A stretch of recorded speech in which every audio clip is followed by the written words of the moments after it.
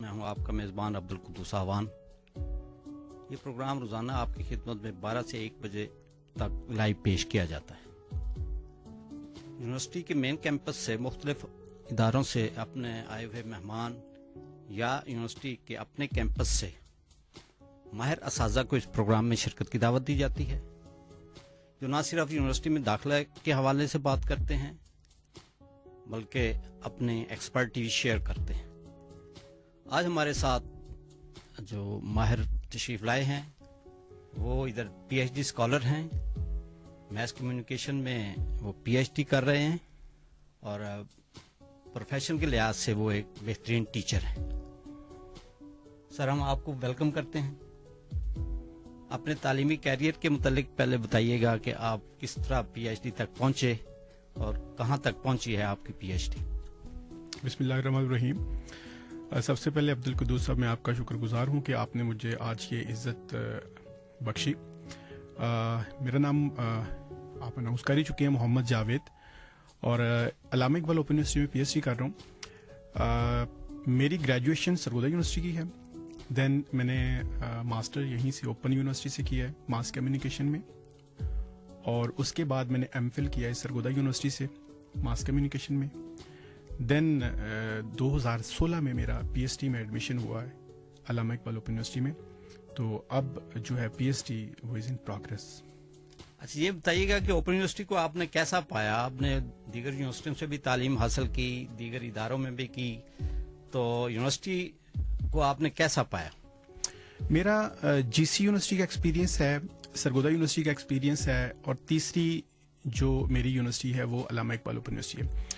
Open university से मैंने BEd किया एम एड किया देन मैंने एम एस मास कम्युनिकेशन भी इधर से की और चौथी मेरी डिग्री अब पीएचडी की है। अगर मैं इनको, इसका कंपैरिजन करूँ अदर यूनिवर्सिटी से तो सबसे पहले अगर हम सिलेबस को ले लें तो सिलेबस के हवाले से, मैं समझता हूँ जो syllabus university Allama Iqbal open university provide कर रही है ऑल ओवर द वर्ल्ड वो उसकी मिसाल शायद ही किसी यूनिवर्सिटी में मिले। एक मज़े की बात मैं आपको ये बताता चलो, मैंने दो यूनिवर्सिटीज के प्रोफेसर को देखा है जो हमारी बुक्स को ओपन यूनिवर्सिटी की बुक्स को एज ए रेफरेंस इस्तेमाल करते हैं। खासतौर पर अगर हम M S C mass communication और एम फिल मास कम्युनिकेशन की रिसर्च की बुक्स को देखें तो जो actual syllabus Allama Iqbal open university का है, उसको दूसरे प्रोफेसर भी फॉलो कर रहे हैं। और मेरे ख्याल में ये एक बहुत बड़ी अचीवमेंट है अलामा इकबाल ओपन यूनिवर्सिटी की। दूसरे नंबर पर जब हम फैकल्टी की बात करते हैं तो मैंने जो देखा है कि अलामा इकबाल ओपन यूनिवर्सिटी की जो इस वक्त रेगुलर रेगुलर फैकल्टी है, ये वेल मेच्योर वेल इक्विप्ड और वेल हम समझे कि इंफॉर्मेशन के हवाले से। फिर स्कॉलरली और इंटेलेक्चुअल जो अप्रोच है, वो इनकी बहुत ज़्यादा है। और रिसर्च पेपर्स के हवाले से। और इसी तरह जो है वो अगर हम देखें फॉरेन स्टडीज़ के हवाले से तो हमारे जो अलामा इकबाल ओपन यूनिवर्सिटी के जो प्रोफेसर हैं, इनकी काफ़ी सारी तादाद ऐसी है जो बाहर से पढ़ के आई है। और ये एक बहुत बड़ा असासा है पाकिस्तान के लिए। अच्छा माशाल्लाह, आपको पता है कि कॉन्फ्रेंस चल रही है, आप उधर से ही तशरीफ़ लाए हैं ये मीडिया कॉन्फ्रेंस जो हो रही है, आपने देखा होगा कि यूनिवर्सिटी तो हर वक्त वाइब्रेंट रहती है और उस पर जो है ना कॉन्फ्रेंसेज हो रही हैं वर्कशॉप्स हो रही हैं. इवन ये संडे को भी यूनिवर्सिटी खुली होती है. मेरे ख्याल में ये पाकिस्तान में वाद मिसाल है कि जो है ना, हफ़्ता इतवार को भी इसके, खास तौर पर लाइब्रेरी और दीगर क्लासेस जो, जिनकी लोगों की वर्कशॉप्स होती हैं, वो बड़ी एक रौनक रहती है. तो आप बताइएगा कि ये जो कॉन्फ्रेंस हो रही है, इसका क्या मकसद है? और पहले कभी आपने दीगर यूनिवर्सिटीज की भी कॉन्फ्रेंसें देखी और सुनी होंगी. तो उनका थोड़ा सा कंपेयर कीजिएगा कि ये कैसे लगा आपको इस कॉन्फ्रेंस में तशरीफ़ ला के?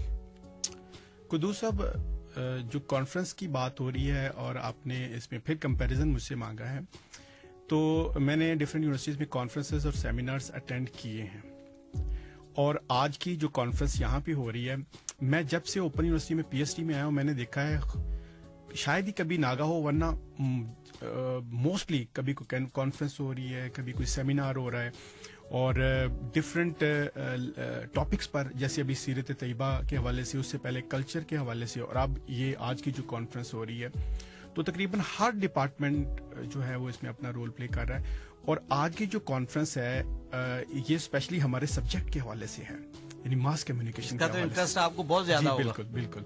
मास कम्युनिकेशन के हवाले से। और इसका जो उन्वान है first national conference on media in post modern times challenges and prospects अब अलामा इकबाल ओपन यूनिवर्सिटी की हिस्ट्री में ये फ़र्स्ट कॉन्फ्रेंस है इस टॉपिक के ऊपर। अच्छा ये क्या टॉपिक इसका ट्रांसलेट करके बताएँ जो कि हमारे सामने जो होते हैं बहुत सम टाइम वो जो अनपढ़ भी होते हैं कम पढ़े लिखे भी होते हैं। तो इसका थीम चूँकि अगर आप क्लियर करके बताएँ तो हर आदमी के लिए वो मुफीद हो जाती है चीज़।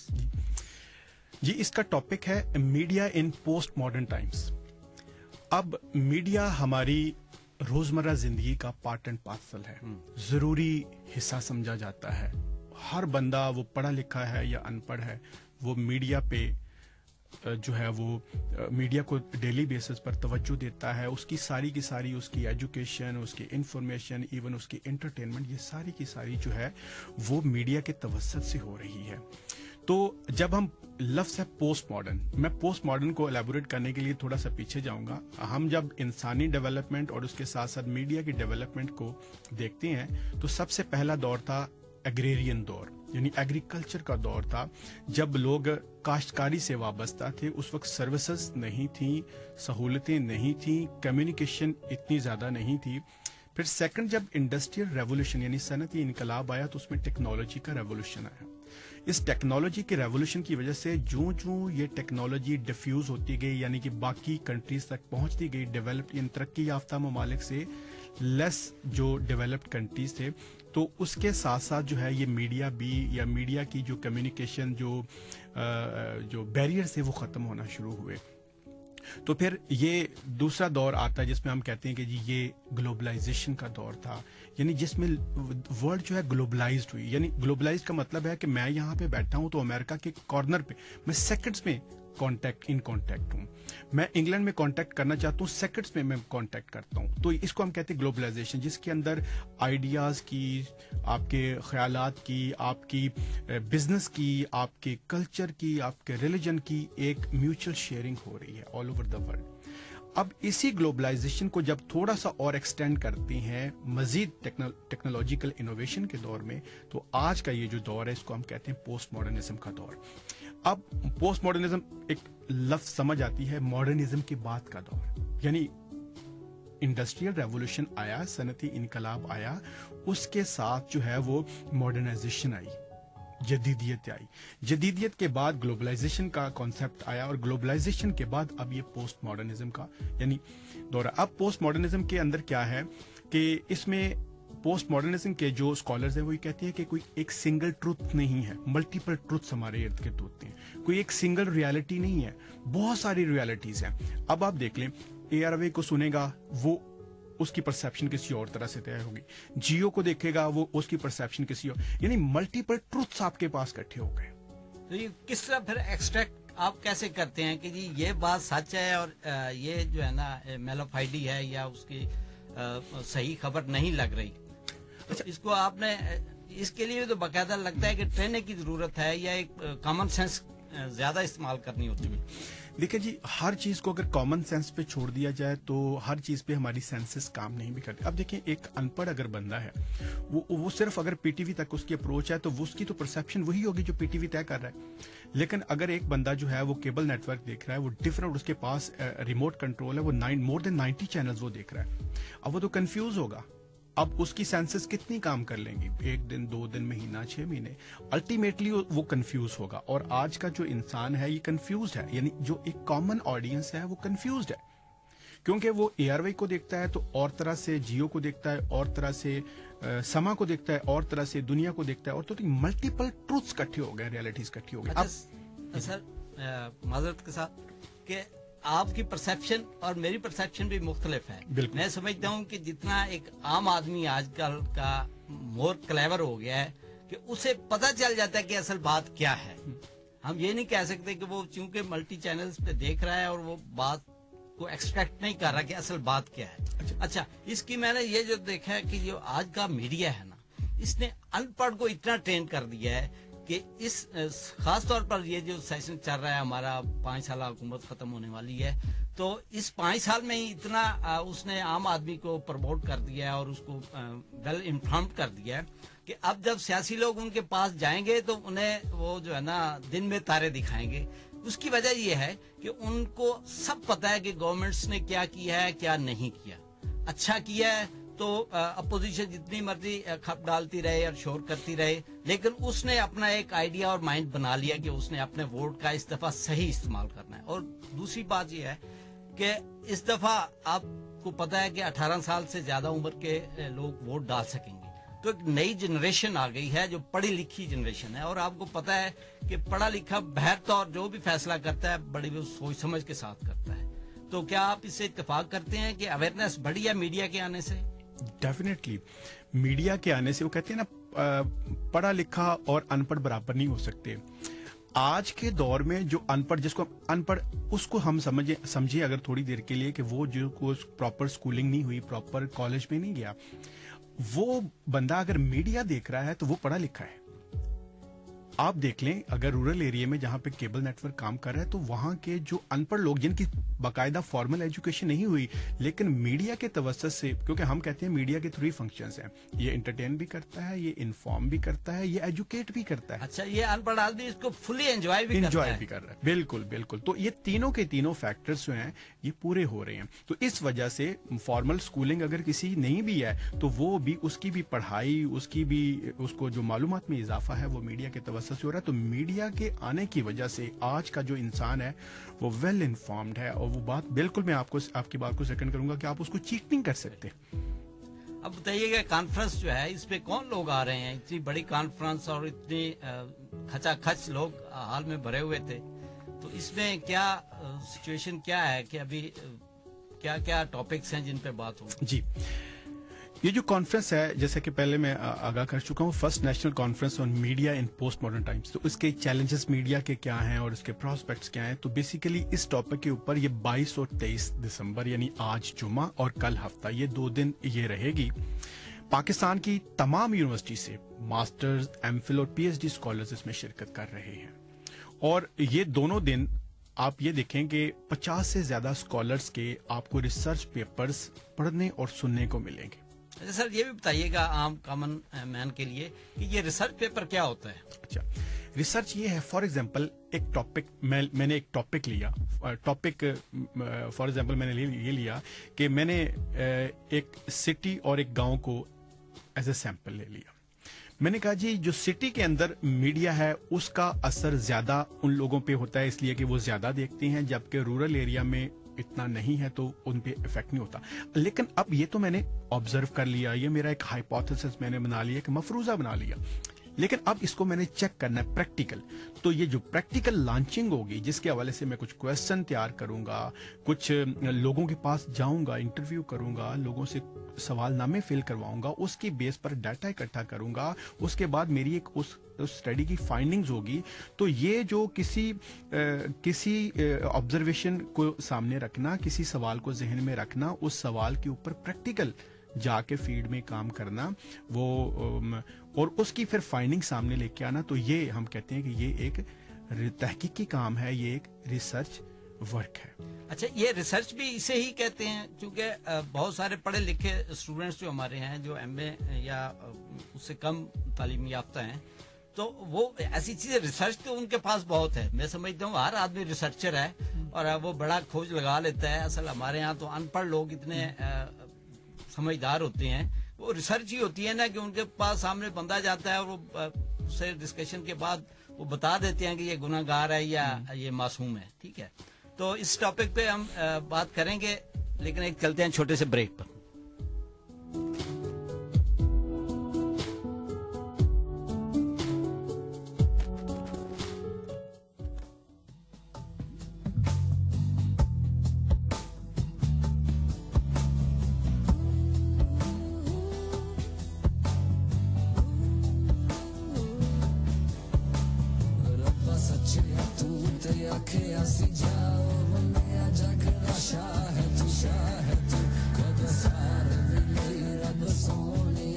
Shine.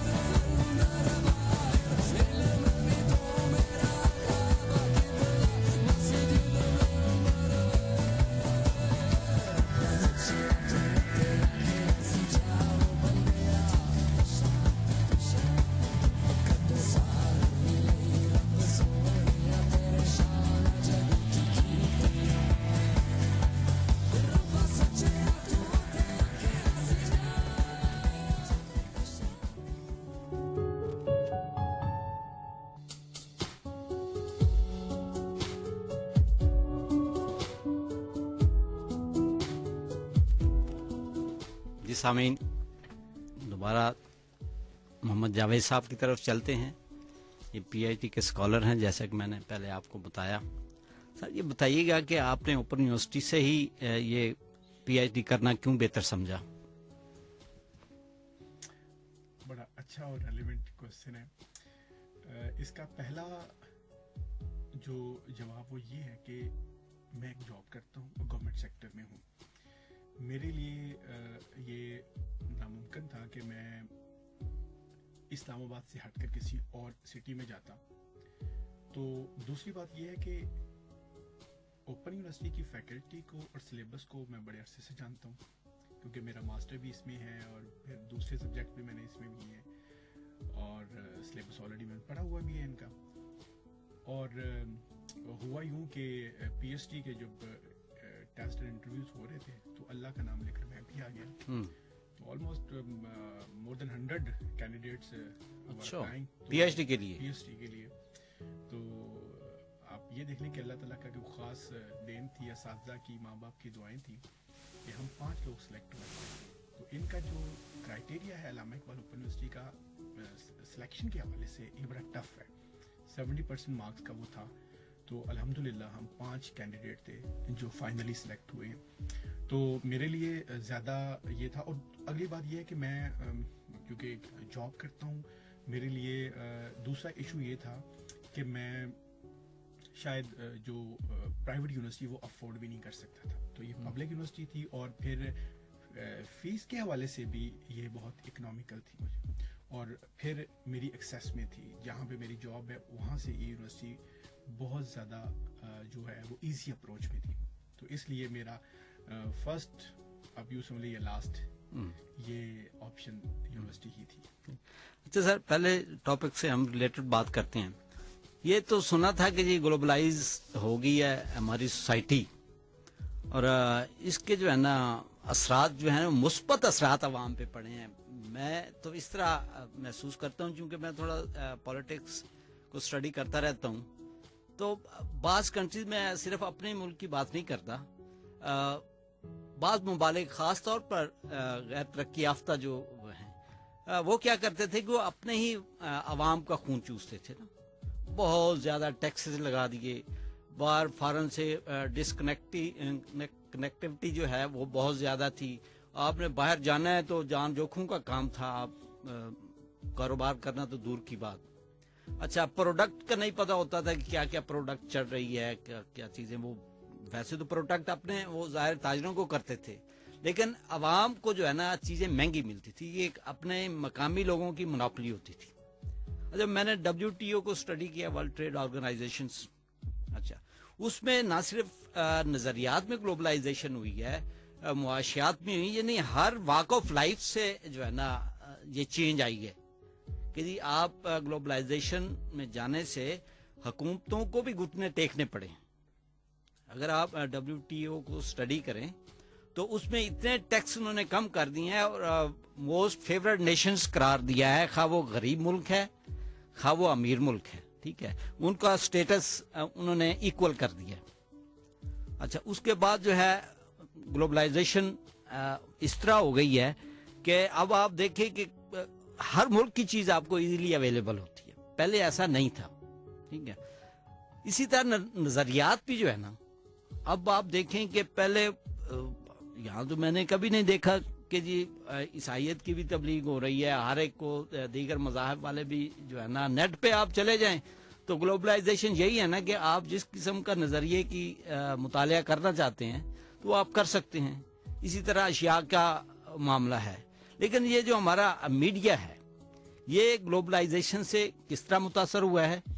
और ये है कि अब ये हम लास्ट स्टेज समझते थे कि ग्लोबलाइजेशन होगी, बस अब हर चीज़ तो ओपन हो गई है बॉर्डर जो है ना बॉर्डरलेस यूनिवर्स बनती जा रही है। लेकिन अभी आप ये पोस्ट मॉडर्निज्म कोई इसमें चीज़ आ गई है, और तो आप क्या फोर्सी करते हैं कि इसके बाद भी कुछ आ- आ जाएगा और ये दुनिया जा किस तरफ़ रही है? देखिए जी, कुदूस साहब, आपका जो सवाल है, जब से इंसान पैदा हुआ है with the passage of time उसमें डेवलपमेंट आती गई है। ये डेवलपमेंट इंसानी ज़िंदगी का, ये जो चेंजेस हैं, ये इंसानी ज़िंदगी का एक लाजमी जुज्व है। आप देखते हैं कि, आपने कुछ अर्सा पहले ये भी सुना होगा कि फला ईयर में क्यामत आ जाएगी, दुनिया खत्म हो जाएगी, लेकिन ऐसा कुछ नहीं हुआ। बड़ी बड़ी पेशीन गोई हुई हैं इस हवाले से प्रडिक्शन हुई हैं लेकिन गलत साबित हुई हैं। अब देखें हम जैसे मैंने अभी पहले कहा एग्रेरियन दौर था एग्रीकल्चर का दौर था इंडस्ट्रियल रेवोल्यूशन का मॉडर्नाइजेशन का ग्लोबलाइजेशन का आज हम डिस्कस करते हैं पोस्ट मॉडर्निज्म को। तो ये जो चीज़ें रुकने वाली नहीं है। अभी तो मीडिया की उम्र ही थोड़ी हम्म। इंसान की जितनी लाइफ है या इंसान का जो एक दौर है या इंसान की जो हम ह्यूमैनिटी की अगर शुरू कर दें from the very first step और आज तक जो इंसान का जो स्पैन है उतना मीडिया का नहीं है। मीडिया तो बहुत बाद में आया और पाकिस्तान में खास तौर पर ये तो 2002 में आ रहा है। वाइब्रेंट मीडिया तो बिल्कुल ही आप जैसे बता रहे हैं कि अभी नौजायदा बच्चा कहा जा सकता है खासतौर पर पाकिस्तान के हवाले से हम बात करें। जी, जी। तो ये चंद साल पहले की बात है कि अब सिर्फ़ पीटीवी की वो मुनाफली होती थी। तो अब चैनलों की भरमार है माशाल्लाह। जी बिल्कुल। ऐसे ही है। और ये सिर्फ़ और सिर्फ़ इस वजह से हुआ कि टेक्नोलॉजी की इनोवेशंस हुई हैं टेक्नोलॉजी की डिफ्यूजन हुई हैं, हर बंदे तक पहुँचे अब आप देखें, आज हम बात करते हैं सोशल मीडिया की या डिजिटल एरा की बात करते हैं तो आपके पास एक सेल फ़ोन है। अब उस सेल फ़ोन में आप क्या है? वो सेल फ़ोन आपकी लाइफ का एक ज़रूरी हिस्सा बन गया है। आप मोबाइल को थोड़ी देर के लिए आगे पीछे कर दें तो आप मतलब अपने आप को नामुकम्मल समझते हैं। उसके अंदर आपका व्हाट्सएप आपका फेसबुक यूट्यूब आपकी सारी वेबसाइट्स इवन आपकी शॉपिंग उसके थ्रू हो रही है। आप ई शॉपिंग कर रहे हैं आप ऑर्डर्स बुक करवा रहे हैं आपकी अपने फू, आपको फ़ूड की ज़रूरत है आप ऑर्डर बुक करवा रहे हैं। आपको बुक की ज़रूरत है आप ऑर्डर बुक करवा रहे हैं। आपको कपड़ों की ज़रूरत है आप ऑर्डर बुक करवा रहे हैं। यानी ईच ईच एंड एवरीथिंग वो has been shifted on the e system और that is because of the media media technology तो ये जो आज का, लेकिन यहाँ पे मैं, पहले जो आपने बात की थी ग्लोबलाइजेशन की जो बात की थी इक्वल शेयरिंग की जो बात की थी, मैं यहाँ पे थोड़ा सा डिसएग्री करूँगा कि हम as a P PhD scholar में ये समझता हूँ कि ये इक्वल शेयरिंग नहीं है। इन्फॉर्मेशन तक एक्सेस है, लेकिन इक्वल शेयरिंग नहीं है। हम हम आज भी देखते हैं कि एक बॉर्डर एक लकीर खींच दी गई है डेवलप्ड और लेस डेवलप्ड कंट्रीज़ के बीच में। जो डेवलप्ड कंट्रीज़ हैं, उनकी डेवलप्ड एजेंसीज भी हैं न्यूज़ एजेंसीज वो जैसी इंफॉर्मेशन देना चाहें, हम मजबूर हैं वो इंफॉर्मेशन लेने को। और जो रंग वो देना चाहें, हम मजबूर हैं उसको पब्लिश या उसको ब्रॉडकास्ट या टेलीकास्ट करने के हवाले से। तो यहाँ पे आपको हर तरह की इंफॉर्मेशन तो मिलेगी, लेकिन आपको वो इंफॉर्मेशन नहीं मिलेगी जो आप समझते हैं किस तरह अब देखें थर्ड वर्ल्ड का जो एक इमेज है, वो स्ट्राइक्स के हवाले से बताया जाता है प्रोटेस्ट के हवाले बताया जाता है। यानी कि negative image all over the world जो वर्ल्ड का मेन स्ट्रीम मीडिया है, जैसे सी एन एन बीबीसी वगैरह हम देखते हैं तो वो हमारा नेगेटिव रोल ही दे रहे हैं। और हमारा मीडिया जो है, उसके अंदर उनकी हेजमनी है। और वो जैसा वो चाहते हैं, वैसी परसेप्शन जो है वो डेवलप कर रहे हैं। तो ये इक्वल शेयरिंग इंफॉर्मेशन है एक्सेस है, लेकिन इक्वल नहीं है। लेकिन आप ये भी देखें ना कि आप उनका गिला शिकवा तो करते हैं, लेकिन अपने नलायकी और सुस्ती और देखें ना, आप अगर ग्लोबलाइजेशन के दौर में आप इन हुए हैं तो आपको कम्पीट भी तो करना है ना। अब आप देखें जी आपकी इन्फॉर्मेशन पुअर है तो उनका तो कसूर नहीं है। आप ये सारी चीज़ें बनाएँ, आप उनका मुकाबला करें। हम सोए रहते हैं, हम काम करने चौबीस घंटे में एक घंटा काम करके हम थक जाते हैं जी, बस जो, अब रेस्ट करें, ठीक है? अब दुनिया चौबीस घंटे काम कर रही है, लोग दफ्तरों में भाग भाग के जा रहे हैं, ठीक है? और हम जो है एक महीने, एक साल में जो है ना दो महीने, तीन महीने, चार महीने छुट्टियाँ करते हैं, ठीक है? ऑफ़िस मर्ज़ी से जाते हैं, मर्ज़ी से आते हैं, अफसर बन जाए तो फिर तो पूछने वाला ही कोई नहीं है। तो ये आप ये बताएँ कि इस मुआशरे के साथ चलने के लिए खुद भी तो कुछ करना है ना। बिल्कुल।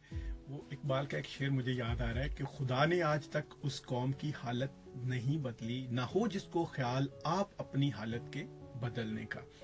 तो बात ये है कि हम वाकई आपकी बात है हम शिकवे करते हैं, गिले करते हैं। एज ए स्कॉलर में, मेरे तो वैसे गिले जायज़ बनते हैं, क्योंकि मैंने तो वो जो देखना है उसको बयान करना है। ये बात आपकी ठीक है। टेक्नोलॉजिकल इनोवेशंस के हवाले से इन्वेंशंस के हवाले से हम लोग बहुत पीछे हैं। हम थर्ड वर्ल्ड कंट्री डिक्लेयर होते हैं। इवन ग्लोबल कैपिटलिज्म की जब बात आती है, हम देखते हैं बड़े बड़े जो उनके फ़ूड रेस्टोरेंट्स जो हैं, उसके बाद होटल्स हैं, उसके बाद जो उनके बड़े बड़े ब्रांड्स जो हैं, वो हमारे खाने पीने के हवाले से लिविंग स्टैंडर्ड के हवाले से कल्चर के हवाले से, वो सारे के सारे उन्हीं के हैं और हम उनको यूज़ कर रहे हैं। हम खुद क्यों नहीं कर रहे? इसलिए कि हम टेक्नोलॉजी के हवाले से इकोनॉमी के हवाले से हम पुअर हैं।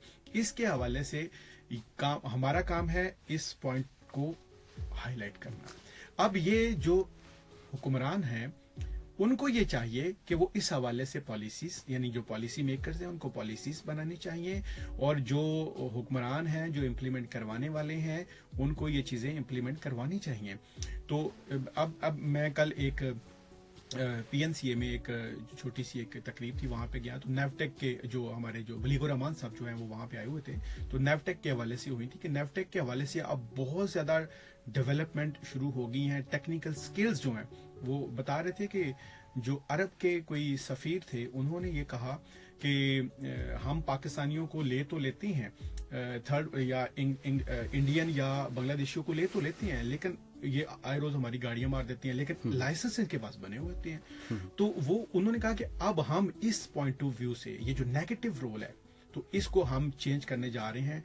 उसके बाद वोकेशनल इंस्टीट्यूशंस आप देखें, पाकिस्तान में बनना शुरू हो गए हैं टेक्नीशियंस पैदा करना शुरू कर दिए हैं लेडीज़ और वुमेन के अंदर टेक्निकल स्किल्स पैदा की जा रही हैं। तो मेरा ख्याल है कि होपफुल होना चाहिए with the passage of time अब हम में ये रियलाइजेशन आ रही है और ये चीज़ें हो रही हैं और ऐसा ऐसा ये बेटरमेंट की तरफ़ हम जा रहे हैं।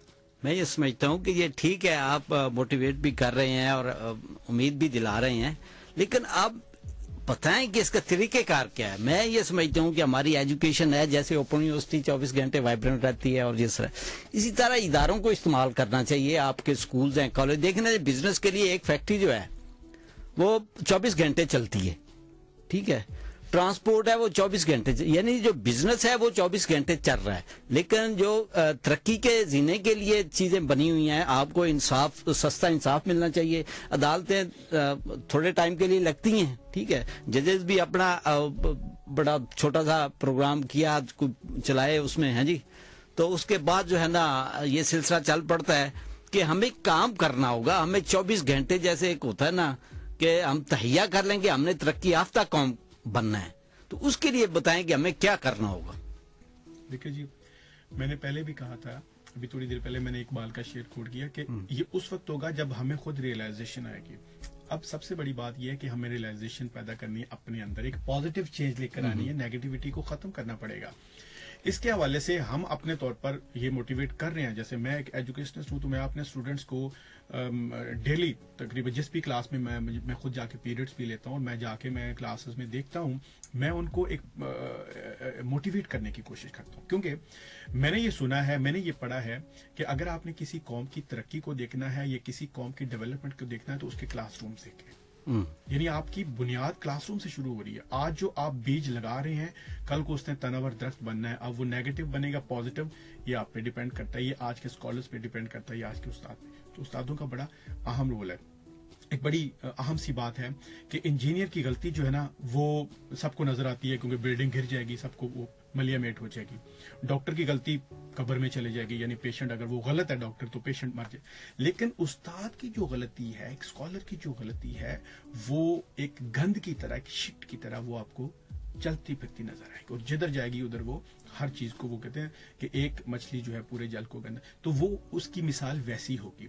तो सबसे पहले मैं ये समझता हूँ कि हमें अपने एजुकेशन सिस्टम के अंदर ये रेवोल्यूशन लाना होगा। हमें अच्छे well train well equipped teachers लाने होंगे, क्योंकि जब हम, मैं ये, मैं, मेरा ये पॉइंट व्यू हो सकता है आपको इससे इख्तलाफ, मैं ये समझता हूँ, आज के इस दौर में मीडिया के इस दौर में टेक्नोलॉजी के इस दौर में हमें सबसे पहले अपने टीचर्स को ट्रेन करना होगा, अपने टीचर्स को इस लेवल पे करना होगा कि हमारी जो क्लासरूम्स हैं, वो नज़र आए कि वो कल का जो हम समझते हैं कि नौजवान या बच्चे कल को हमारा असासा बनना है इन्होंने तो वो क्लासरूम्स हम उनको इस तरह से साइकोलॉजिकल और फ़िज़िकल हम इस तरह से उनको मेंटेन करें कि वो अफराद के हाथों में है अकवाम की तकदीर। जब हम अफराद बना देंगे तो वो कौम की तकदीर ऑटोमेटिकली समझ देखिए सर उसके लिए टीचर की अ, माली हालत बेहतर करना होगी उसके मसाइल को कम करना होगा। मैं जो यहाँ देखता हूँ एक टीचर रहने वाला फैसलाबाद का है और उसको लगा दिया जाता है मुख्तलिफ़ और जगहों पे ठीक है? उसका टाइम वेस्ट होता है। इसी तरह खातन टीचर्स हैं उनके लिए मसाइल होते हैं। तो हम जरा टॉपिक से हट रहे हैं। तो अब बताइएगा कि हमारे यहाँ जो ये कॉन्फ्रेंस अब चल रही है तो इस पे आप और मजीद क्या कहेंगे कि हमारी यूनिवर्सिटी जो तरक्की कर रही है, इसको लीड कौन कर रहा है? आप क्या महसूस करते हैं कि हमारी यूनिवर्सिटी जो इतनी वाइब्रेंट नहीं थी, आजकल बहुत वाइब्रेंट है तो इसका रूह रवां कौन है? देखिए जी, किसी भी बैटल फ़ील्ड के लिए शाह सवार या सालार या सिपा सालार की जब हम ठीक करते हैं उसका बड़ा अहम रोल होता है। लीडर जो है वो उसका बड़ा अहम रोल होता है। तो मैं समझता हूँ जब से ये प्रोफेसर डॉक्टर शाहिद सदीकी साहब ने इस यूनिवर्सिटी का मतलब चार्ज संभाला है तो मैंने एक चीज़ जो पॉजिटिव देखी है कि हालाँकि मतलब ये माशाल्लाह इस लेवल पे जाके मतलब मतलब जब बंदा बिल्कुल रिटायरमेंट के पास पास होता है तो वो इतने एनर्जेटिक इतने डायनामिक मैंने कभी उनको बैठे हुए नहीं देखा। कभी वो किसी डिपार्टमेंट का चक्कर लगा रहे होते कभी किस डिपार्टमेंट का। और मैंने ये एक चीज़ पॉजिटिव देखी है जब से डॉक्टर साहब आए हैं तब से इस यूनिवर्सिटी के अंदर कभी कोई सेमिनार हो रहा है, कभी कोई जो है वो कॉन्फ्रेंस हो रही है, कभी किसी को बुलाया जा रहा है, कभी खुद कहीं पे विज़िट पे हैं और स्पेशली जो जर्नल्स के हवाले से काम हो रहा है इंटरनेशनल जर्नल्स के हवाले से काम हो रहा है, फिर तहकीकी, तहकीक के हवाले से जो काम हो रहा है तो ये इनकी पर्सनैलिटी को, इनकी खिदमात को हमेशा याद रखा जाएगा। अच्छा एक वक्फे वक्फे पे चलते हैं, फिर इंशाल्लाह बात होगी हमारी पोस्ट मॉडर्निज्म पे।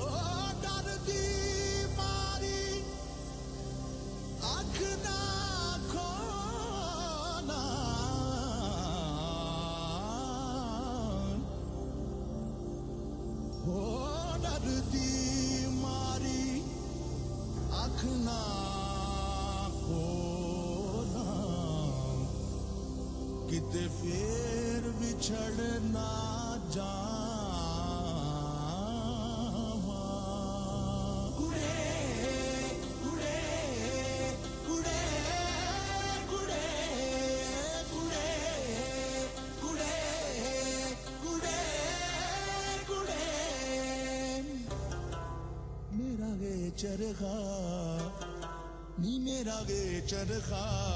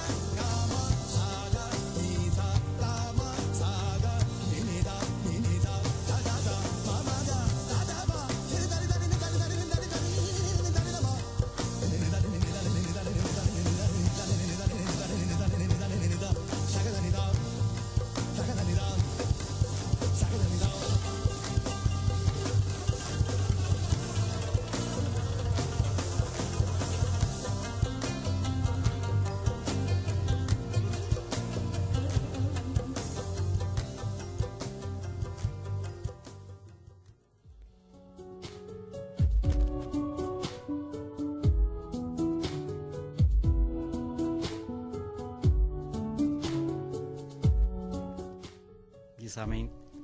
दोबारा जावेद साहब की तरफ़ चलते हैं। सर, ये बताइएगा कि जो हमारा आज का मेन टॉपिक भी है कि कॉन्फ्रेंस चल रही है।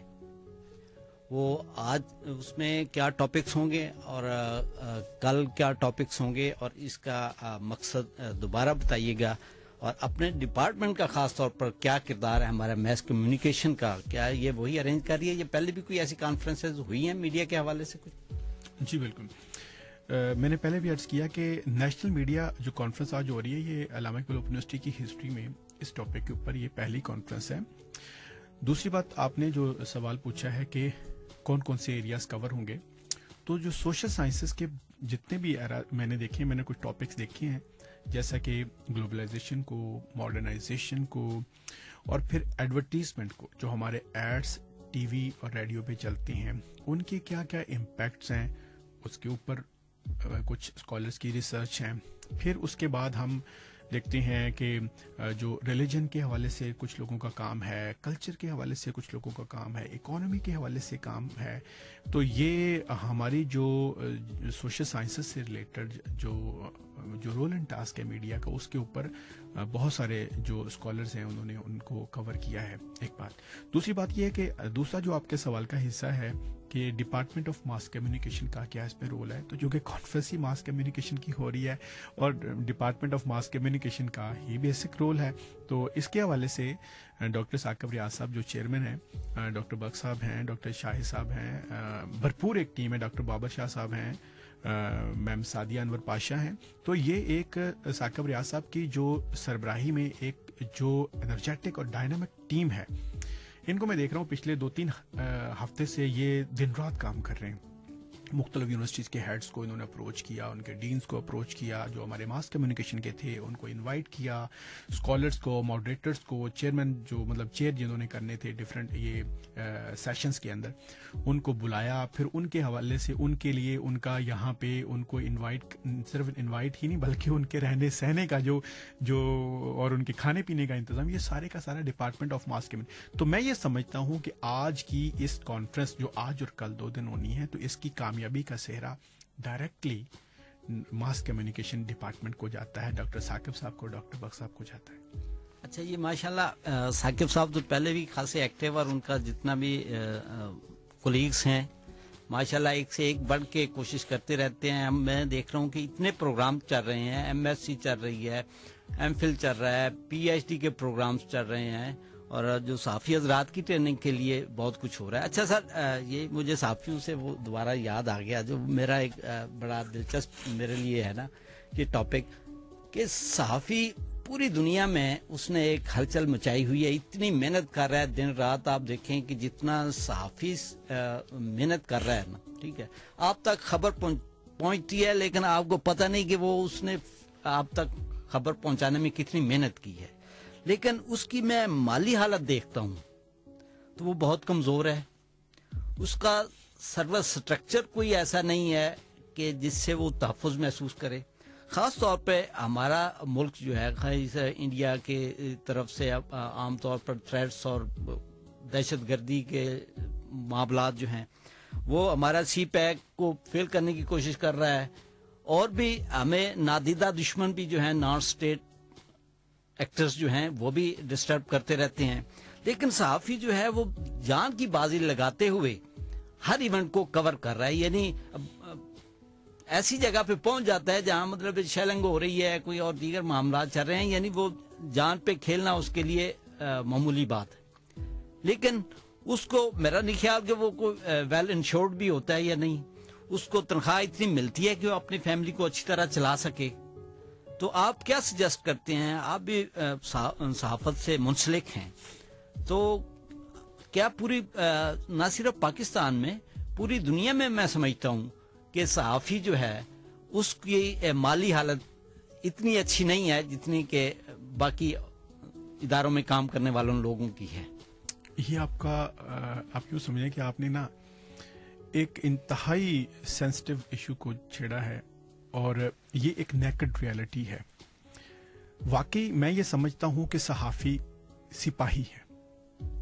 सहाफ़ी हर उस बॉर्डर पे काम कर रहा है जहाँ पे आम बंदे की अप्रोच हम तो क्या करते हैं? आम जो ऑडियंस है वो तो कमरे में बैठकर बस टीवी देख रहा है। लेकिन वो खबर आई कैसे? किन किन चैनल से गुजरी? कैसे कैसे वो बंदा वहाँ तक अप्रोच उस सहाफी की हुई? उसने कैसे वो खबर निकाली? वो कैसे उस ऑडियंस तक पहुँची। इसके पीछे एक लंबी कहानी होती है। आपकी बात बिल्कुल ठीक है। लिविंग स्टैंडर्ड सहाफियों का वो नहीं है जो होना चाहिए। मेरा पहली बात तो ये है कि सहाफियों का इस्तेसाल हो रहा है, इसको मैं मानता हूँ। मेरा ये मानना है कि चूँकि यूनियन है तो यूनियन को सबसे पहले स्ट्रांग होना चाहिए।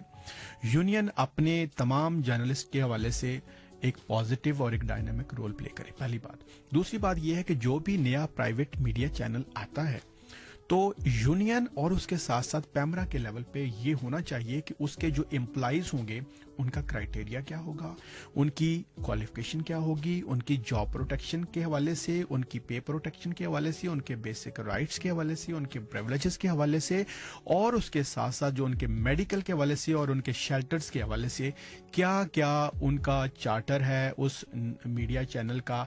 इसको जो है वो खास तौर पर इसके ऊपर चेक एंड बैलेंस बल्कि एक वॉच डॉग का जो रोल है वो यूनियन और पैमरा का होना चाहिए।